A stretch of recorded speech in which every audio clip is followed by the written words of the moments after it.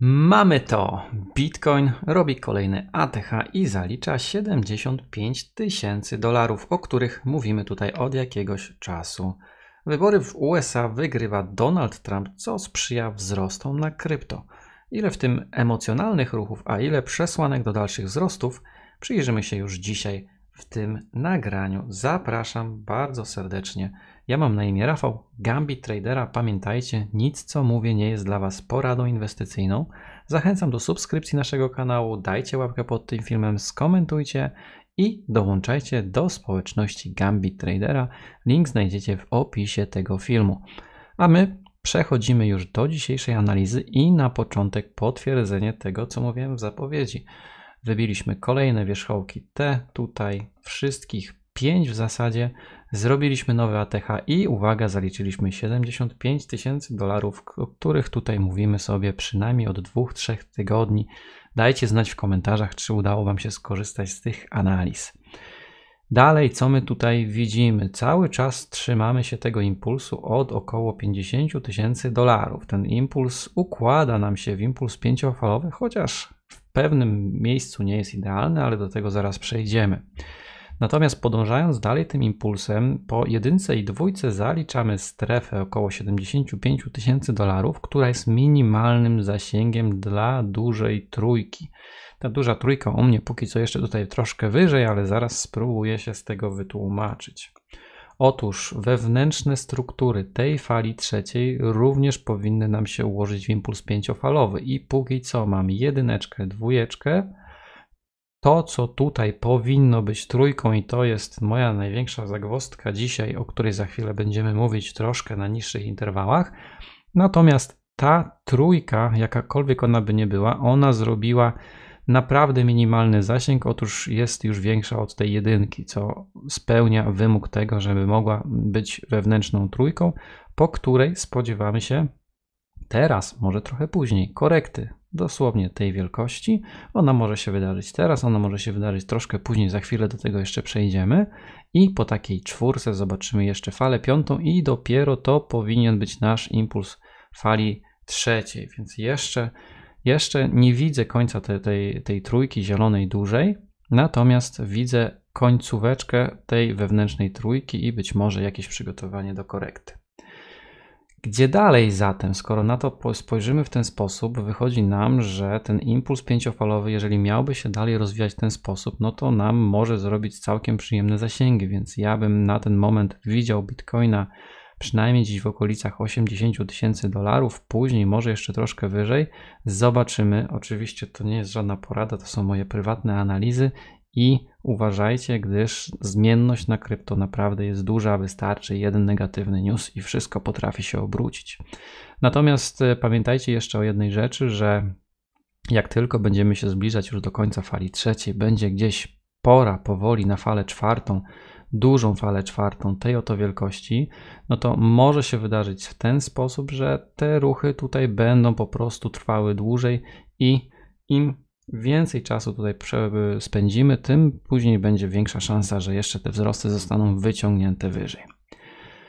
Co zatem teraz może się wydarzyć? Otóż pierwszy ze scenariuszy, o którym Wam chcę dzisiaj powiedzieć, to jest scenariusz oczywiście kontynuacji tego tutaj impulsu pięciofalowego i możliwe, że już teraz wydarzyłaby się ta korekta wielkości niebieskiej korekty. Jej zasięg na ten moment to jest około 68900 przy czym wszyscy widzimy, że jest bardzo dobra atmosfera dla krypto i przy krypto i może się wydarzyć, że taka głęboka korekta jeszcze teraz się nie wydarzy. Jak więc to interpretować? Otóż, jeżeli mówimy o tej wewnętrznej fali trzeciej, no to tu co prawda mam oznaczenia pięciofalowe, natomiast za chwilę mi zwrócicie uwagę w komentarzach, że to nie powinien tak wyglądać impuls pięciofalowy. I otóż pozostaje mi tylko przyznać Wam rację. Nie jest to w żaden sposób idealna struktura. Jest to jakaś struktura pięciofalowa, nietypowa Elliotowa i ja to na ten moment interpretuję dwojako. Otóż, jeżeli w tej chwili dostaniemy bardzo płytką korektę, mniej więcej w te rejony, to będę jeszcze traktował to, co tutaj się wydarzyło, to jest uwaga tylko jeden ze scenariuszy, jako być może nie 1, 2, 3, 4, a jako 1, i 2 i tutaj dopiero jeszcze 3, 4 i 5. To na ten moment jest któryś z kolei ze scenariuszy, gdyż gdyby było faktycznie tak, jak to narysowałem, no to tam te 100-120 tysięcy to byłyby dopiero te zasięgi. Więc jeszcze się na to nie nastawiam.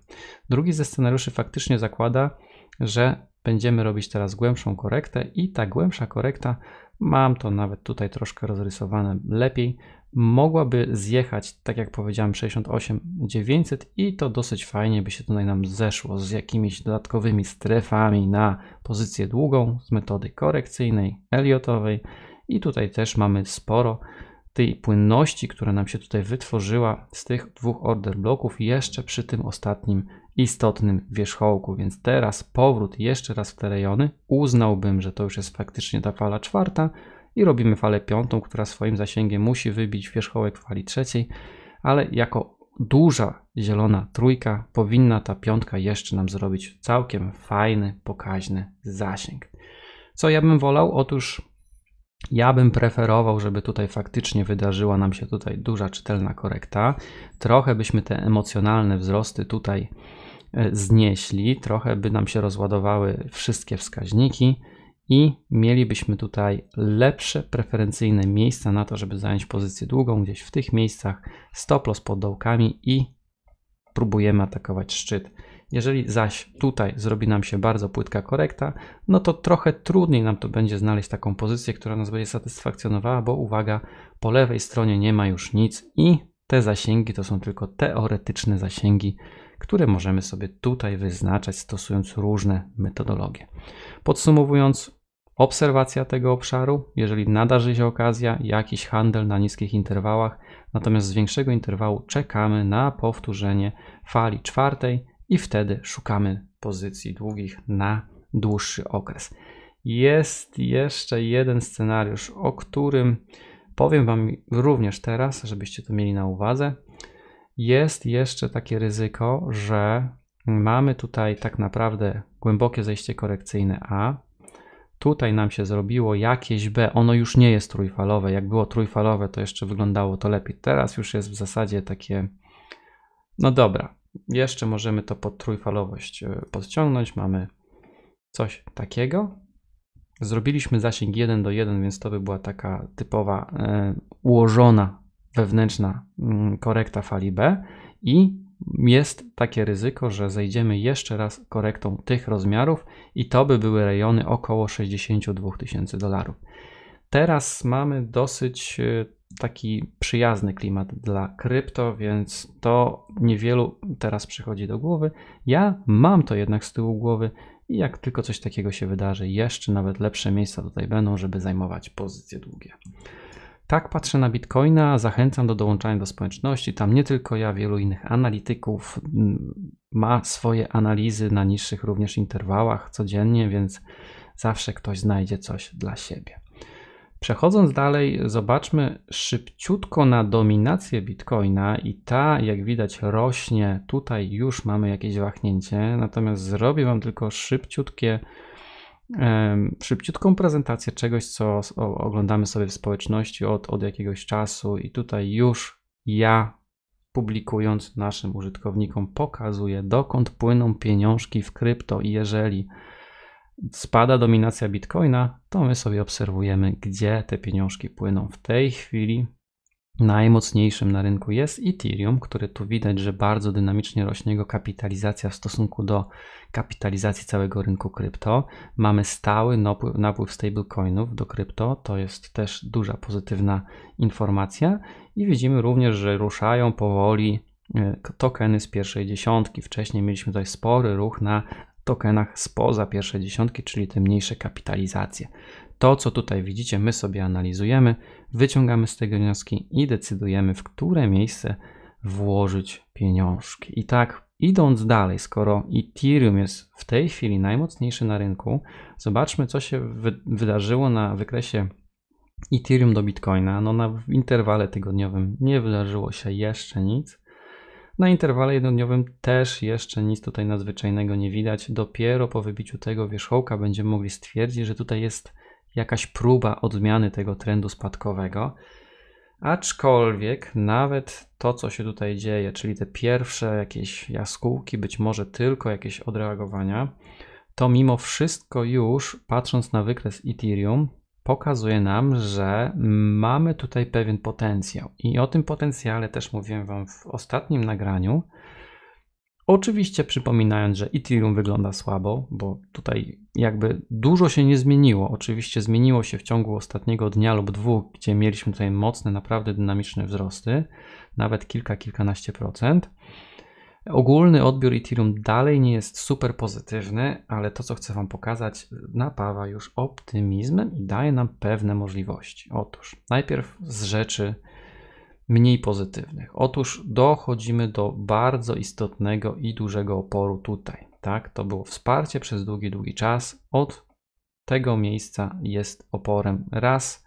Tutaj nie dojechaliśmy, mieliśmy spadek i teraz po raz powiedzmy trzeci tutaj wjeżdżamy i jest to jednak bardzo duży i bardzo istotny opór i cena będzie stąd chciała zrobić przynajmniej korektę. Dodatkowo mamy tutaj 50% tego ostatniego spadku, więc ponownie jest to takie miejsce, od którego możemy dostać spadki. I uwaga, trzecie, trzecia przesłanka, mamy tutaj powtórzenie tej korekty.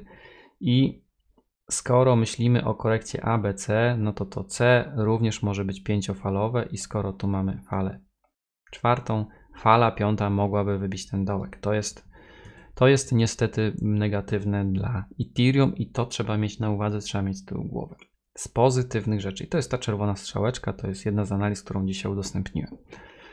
Z pozytywnych rzeczy mamy to, że cena w tym przedziale od około 2800, tutaj powiedzmy 2300, przebywa od sierpnia tego roku. Mamy sierpień, wrzesień, październik, listopad, już 3 miesiące, czy prawie 3 miesiące. I dla mnie wygląda to, powoli wyglądać jak akumulacja. I taka akumulacja, ona może się skończyć dwojako. Otóż w dwojako w takich klasycznych yy, opracowaniach. Otóż być może my się już z tej akumulacji wybijamy. I jeżeli się wybijemy górą, zobaczymy powrót. Ten powrót Powiedzmy, że dla tego impulsu tutaj zrobi jakąś czytelną strukturę korekcyjną, to to będą już dla nas miejsca na to, żeby handlować Ethereum do góry. I to jest scenariusz takiego, takiej akumulacji bez jeszcze wybicia dołu. Ta duża zielona świeca na interwale jednodniowym, czy w zasadzie dwie duże świece, to jak Ethereum może wyglądać na interwale tygodniowym, a mówię może, bo jeszcze trzy dni zostały, będą wspierały ten scenariusz, w którym już nie wybijemy tego dołka. Drugi ze scenariuszy takich akumulacji to jest stety albo niestety scenariusz z jeszcze jednym wybiciem tych dołków i on by się spinał z tym, co Wam przed chwilą opowiedziałem o tej dużej strefie podażowej. W takim scenariuszu dostaniemy jeszcze jeden dynamiczny zjazd i dopiero później jazdę do góry. Nie wiem, co by się w tej chwili musiało wydarzyć, żeby Ethereum z tego miejsca zrobiło nam zjazd jeszcze 25%. To oczywiście na krypto nie jest wykluczone, to musiała być jakaś taka e, większa struktura korekcyjna nie tylko na Ethereum, również na Bitcoinie i na krypto, która byłaby wspierana jakimiś informacjami fundamentalnymi. No, nie chcę Wam teraz niczego wieszczyć, bo nie zakładam, jakoby miało się coś takiego dziać. No, miejcie to jednak na uwadze. Na co ja czekam? Ja czekam na razie na tą pierwszą strukturę, czyli jakieś mocniejsze zamknięcie powyżej, bo póki co to był mój wierzchołek, który był dla mnie istotny, e, a żeby zrobić e, wyższy wierzchołek od tego, za chwilę być może wyższy dołek, mm, to było dla mnie istotne i dalej jest, więc chciałbym, wolałbym, żeby to się troszkę jeszcze wyżej zamknęło, po czym będę odczytywał strukturę korekcyjną. Jeżeli ona się zakończy w jakimś dla mnie rozsądnym i fajnym miejscu, to już uznam, że na ten moment kończymy tą strukturę akumulacyjną i próbujemy to handlować do góry. Taki jest pomysł na Ethereum i zachęcam Was bardzo serdecznie do tego, żebyście mm, komentowali te analizy. E, ja również chciałbym się do tego odnosić w tych nagraniach. I ostatni z altcoinów dzisiaj to jest PP. PP, który jest z kategorii memcoinów. Memcoiny radzą sobie generalnie dobrze od jakiegoś czasu, żeby nie powiedzieć bardzo dobrze. Tych memcoinów jest coraz więcej, coraz więcej. Ja ogólnie nie polecam, e, natomiast to też nie są już rzeczy, które warto ignorować, jeżeli nastawiacie się na to, żeby na krypto zarobić. Co nam zrobił Pepe? Pepe nam zrobił tu y, dosyć dużą i czytelną strukturę korekcyjną. I po tej strukturze korekcyjnej mamy powrót w te rejony. One były bardzo podażowe i stąd cena zaliczyła kolejny spadek. Jeżeli popatrzymy na to z tej perspektywy, z tego interwału, e, możemy tu zauważyć, że tu był jakiś impuls i czytelna, bardzo ładna struktura korekty ABC zakończona w dobrym miejscu. Czyli dla tego impulsu ta struktura korekcyjna. Po zaliczeniu tego poziomu dostaliśmy taką oto mocną reakcję, takie, takich kilka, na interwale jednodniowym oczywiście to było kilka mocnych świec, e, które już przebiły ten wierzchołek istotny dla tego ostatniego impulsu spadkowego. No i widać po tym generalnie, że dynamika jest bardzo duża, jest tutaj bardzo duży popyt. Dla mnie wygląda to bardzo zachęcająco i po jakiejś korekcie tutaj czytelnej ABC czy jakiejkolwiek innej strukturze korekcyjnej dla tego impulsu, ja również będę tutaj szukał miejsca na to, żeby PP handlować do góry. To, co teraz widzimy, wygląda bardzo ciekawie, może być super fajne prowzrostowe. Oczywiście, jeżeli chodzi o altcoiny, to zawsze pod warunkiem, że na Bitcoinie będzie działo się dobrze lub nie będzie działo się źle. A jak to interpretować? Dobrze to jest tak, a nieźle to jest tak. Tak, jak będziemy widzieć coś takiego na Bitcoinie, to jest idealny moment dla altów. To jest taki typowy moment, kiedy może się uruchomić alt season.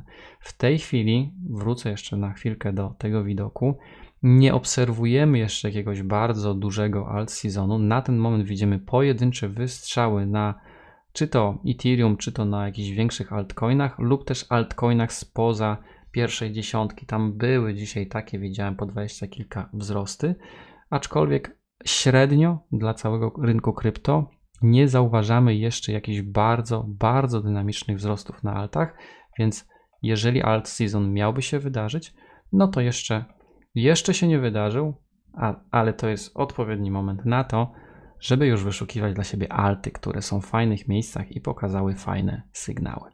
To wszystko, co na dzisiaj przygotowałem. Dziękuję serdecznie za uwagę i zachęcam jeszcze raz, dołączajcie do naszej społeczności. Tak jak powiedziałem, różne okazje tam się znajdują, a nie tylko takie nagranie informacyjne raz w tygodniu. Dzięki serdeczne i do usłyszenia.